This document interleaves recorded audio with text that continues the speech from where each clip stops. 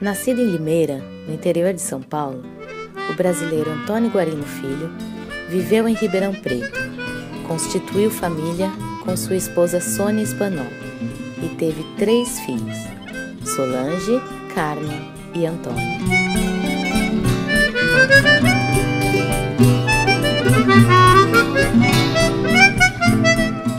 Faleceu aos 78 anos em 2003. Pintor letrista de profissão, constituiu sociedade com outro grande artista plástico, o Sr. Arnaldo Mulim. Numa parceria de 40 anos, fizeram grandes obras na cidade de Ribeirão Preto, inclusive a decoração artística de tradicionais bailes carnavalescos no Clube de Regatas e Sociedade Recreativa.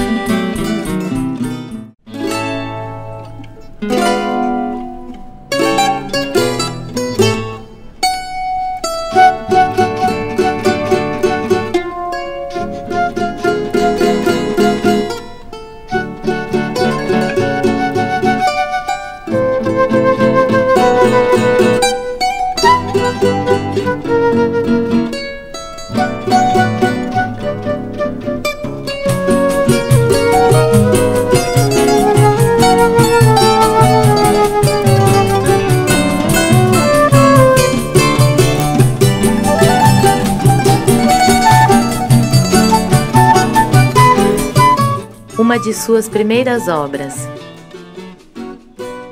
O ano era 1935 e o presidente do Brasil era Getúlio Vargas. Antônio Guarino Filho estava com 10 anos de idade quando elaborou essa obra utilizando papel, lápis grafite, lápis de cor e carvão. A intenção do seu pai era enviar a obra para o presidente da República, a fim de que concorresse a uma bolsa de estudos no exterior.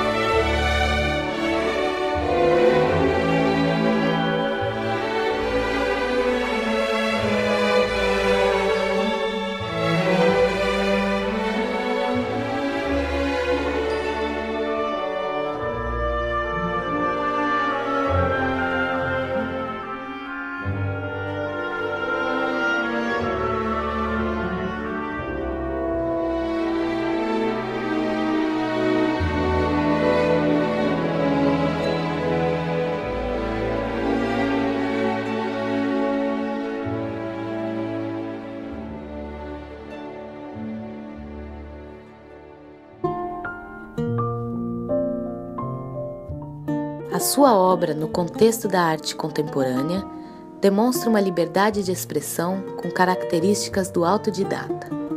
É considerado um figurativo que foge do academicismo, pelo tratamento que dá às formas e às cores, onde consegue transmitir com liberdade de traços uma força a qual torna seu trabalho com uma característica muito especial.